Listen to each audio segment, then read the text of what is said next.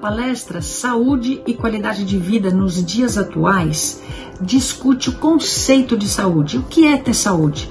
Seria simplesmente a ausência de doença? Não. Hoje a gente sabe que saúde é bem-estar biopsicossocial com qualidade de vida. E no mundo de hoje contemporâneo, com tantos estresses a que estamos submetidos, como fazer para ter saúde? É exatamente isso que a palestra vai discutir.